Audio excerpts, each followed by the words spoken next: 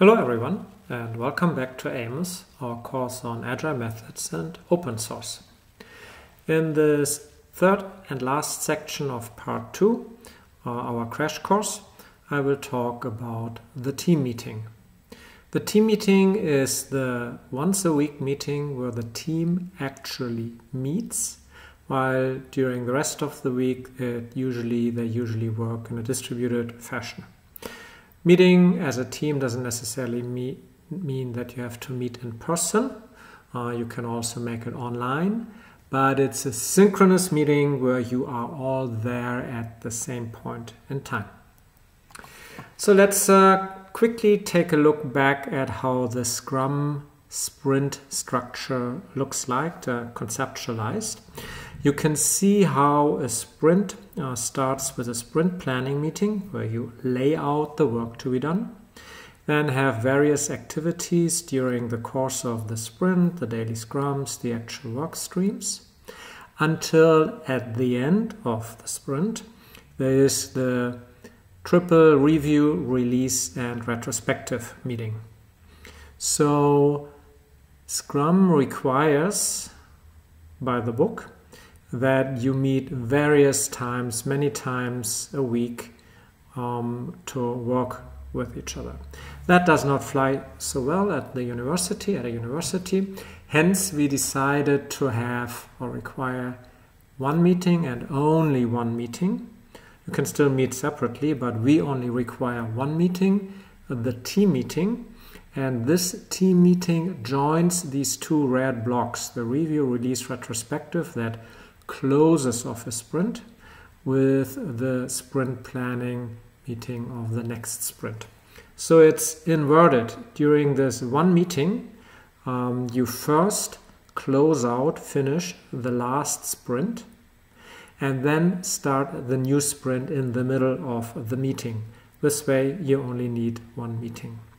So as you can see here, uh, during class day and or team meeting day, um, you will meet.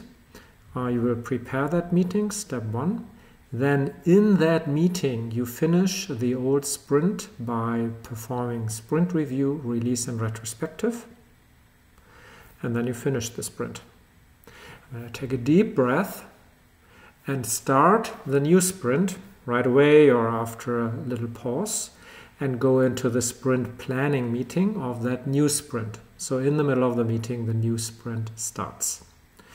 You finish planning, sprint planning, and there may be some after work after the meeting, but once you finished sprint planning, you are done with the meeting. And this way you only need to meet once for a given sprint, uh, not twice. And this team meeting is a quite important meeting, and in this section I will talk about its detailed process. And I recommend that as you perform these team meetings, you actually look at these slides, this particular slide deck, and use it as a manual to perform the team meeting well, because it's easy to get it wrong. So, step one, even before the meeting starts, you need to prepare, because a poorly prepared meeting is likely to fail. There are two things that need to be done. The release manager of the current sprint needs to make sure that for the review session of the team meeting, there will be a working software. So the release manager is busy the day or the night or the hours before the team meeting, making sure that the code builds, tests, and runs. Once they have a stable version that does exactly that, they should tag it as a release candidate. In parallel, the product owner, uh, who is not the technical person but performs or manages the, the planning of new features, needs to make sure that the product backlog uh, contains enough new future work so that you don't run out of features to be done in sprint planning. So the product owner is part of the regular work stream, but specifically in preparation of this meeting makes sure there are sufficient and high quality uh, feature requests, product backlog entries in the product backlog. And then the meeting starts. First up is the sprint review. You want to look at the work you did during the last sprint and sign off on it. In the first step, the release manager shows how the code base is any good. The release manager demonstrates to everyone that the code builds, tests, and runs. The release manager does not have to run the review. They just show here is software that compiles and that we can now use for discussion. This discussion, the actual review, is managed by the product owner. The product owner goes through every single feature in the sprint backlog and with the Kanban board, those features that are in the awaiting review column. They walk through every feature and ask the developer who developed, implemented that feature to demonstrate it. And then the product owner will ask questions, maybe others will ask questions too, with the goal of finding out that whether the feature has been implemented properly. The product owner checks up on their acceptance criteria. Are they met? The team looks at the definition of done. Is it also met? And then a, re, uh, a decision is cast.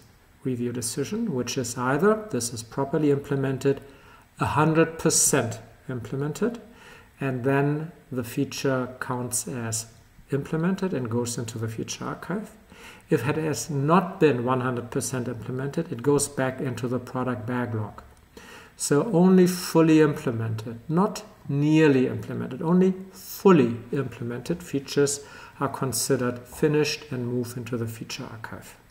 Those who, which have not will go back into the product backlog where they will join the new features and will be scheduled in the upcoming sprint planning meeting as well.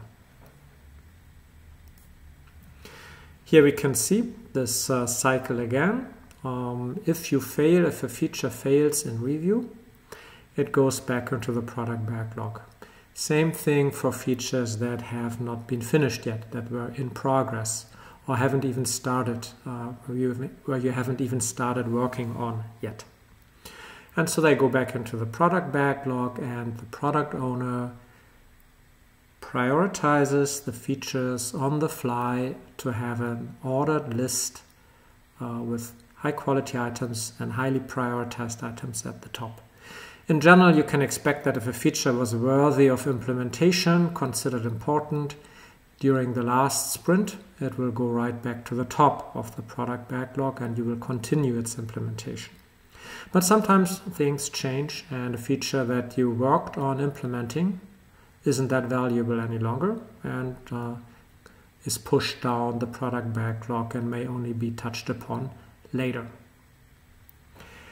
As you see how a feature uh, was moved into a waiting review and then moved into the feature archive, you can see how it gets a real size.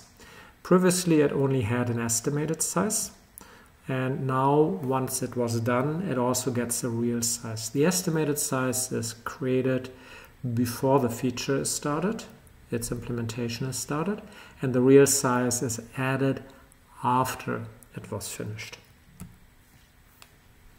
So the product owner, back to the meeting, the product owner walked through all the features and each feature was discussed and a release decision on the feature was made in the sense of is it good, does it go into the feature archive or not. Now a release decision has to be made for the whole sprint, the code base, which intertwines the fully all the old features, the new features that have been fully implemented, but also features that have only been partially implemented. So the decision needs to be made uh, by the, the product owner needs to decide whether the software as it is right now shall be released where release means it gets a release uh, tag, but also means it gets deployed to production. This decision is a hard one. Um, usually you will always want to release, but uh, if it's actually deployed to production and doesn't do any good, then maybe not. Also, the product owner may have to uh, discuss this with the developers who may have a more detailed insight into the uh, actual quality. If there is a positive decision, the release manager tags the release and deploys it to production. With that, you've done the technical content of, finished the technical content of the sprint and turn to process improvement now. The final step of a sprint is to perform a sprint retrospective where the scope is the last sprint and you try to find out whether you can improve your process to get better, faster, cheaper. For this, the Scrum, the old Scrum Master first reports about the work they did during the last sprint, which was to resolve any non-technical issues.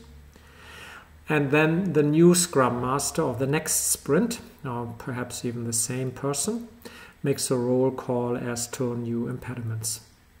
Impediments are problems, issues, are always of a social nature, not of a technical nature. So people problems, say unavailability of your industry partner, you really need that input, that information, and they are not answering. That's an impediment.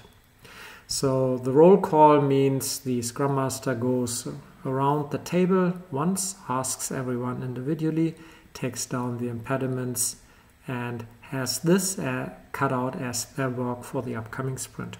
You don't usually try to solve the impediments in the meeting. A few comments are sometimes okay, but don't start a lengthy discussion as to how to handle an impediment. This is the job of the Scrum Master as their work stream after the team meeting. And then, as the last step in the retrospective, you provide the happiness index. The happiness index is this little feedback tool which you will see where everyone tells everyone else anonymously how happy they are with the project and if things apparently go totally out of whack then you can discuss it but in general if things work out reasonably well you'll get a curve like uh, you can see it here left to right are the sprints and the different lines are the different people and then you're done with the old sprint. So now it's the new sprint and you need to start sprint planning. The product owner of the new sprint um, reprioritizes the backlog items if there was a need for it, maybe because feature requests had been moved into the back into the product backlog. And then they start working through the product backlog from the top. They take the first most highly prioritized item and ask the developers to estimate the size of it and commit to implementing the feature. So this is done during planning poker, a process I'll explain in a slide or two. And the idea here is that the product owner takes one backlog item after another of the product backlog until the software developers say enough already. That's all we can do in the upcoming sprint. And that's it then for the sprint uh, planning. So in order to understand this process of how the developers decide on whether they can do a feature, uh, how big it is in terms of size, and when it's enough is enough, we need to first look at this idea of size.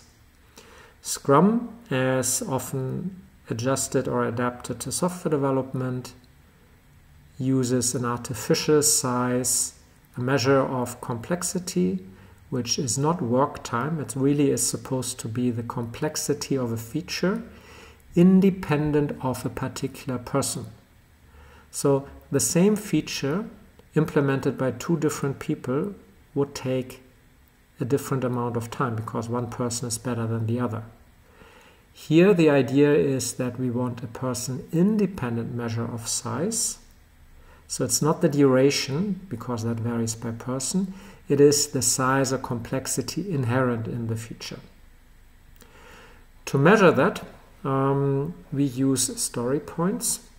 Story points are really just a unitless point system of values 0, 1, 2, 3, 5, 8, 13. So these are the Fibonacci numbers, and they're really categories rather than uh, a linear scale you can do a lot of math with. The idea is that you sort features, you sort the size of features into categories. You give them labels in the sense of points, and yes, we will do some math uh, to get a basic idea for planning later, but it's really categories. And the whole point is that you learn over time to put same size features into the same category. It doesn't actually matter to Scrum whether uh, the number or the label you put onto a particular category um, is higher or lower. All that matters is that you consistently start judging the size of same size features as belonging to the same category. In the first few sprints that may not work so well, but over time you will eventually learn to judge similar features as similar in terms of size and complexity. So this is the measure, story points, unitless, and they are used in planning poker. A simple process to get agreement on the size of a particular feature.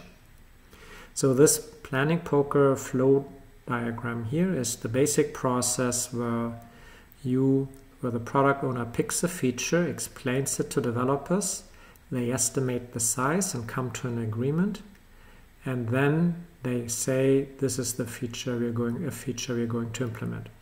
And it gets added to the other features in the sprint backlog, which keeps growing until it's so big that uh, the developers say, okay, that's it, what we can do in the upcoming sprint. So how does planning poker, the size estimation work for one feature? It's a so-called Delphi uh, method of experts, which think by themselves and then have a discussion to learn from each other, and then they think by themselves and so forth.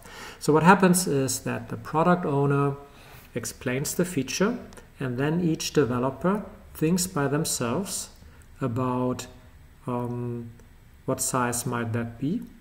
They in the physical world would hold cards close to their chest and then once they're all deliberated and say now let's go. One two three go they will all put their cards on the table play the card and then you would see which disagreement there is if any. Disagreement is good because people competent people have different opinions. So now you start with the largest number and ask that person product owner asks that person, why do you think this is so complex? And then they will explain. And then you ask the other outlier, the lowest number, why do you think it's so easy? And then they will explain. And the others listen and the others comment. And everyone who wants to say something will say something.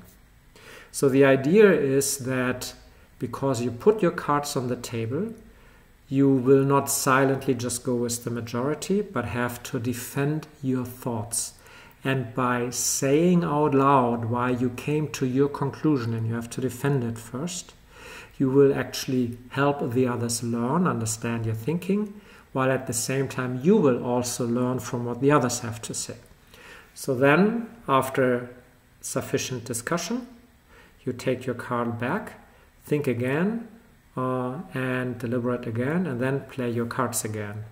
And maybe this time you're already all have the same value, meaning you got agreement, or maybe there's still disagreement, so you go over it one more time, and until uh, and you keep playing these rounds until you have agreement. In the very first time, maybe it's three, three rounds, four rounds, perhaps. In general, with a little bit of experience, you will quickly learn to converge because you estimate size, estimate features of same size pretty effectively as of same size and that's it. So you get two features, three features, four features, five features into the sprint backlog and then you look at the total sum of story points and maybe that's enough. Um, so maybe in total you can do 25 story points or maybe even 40 story points.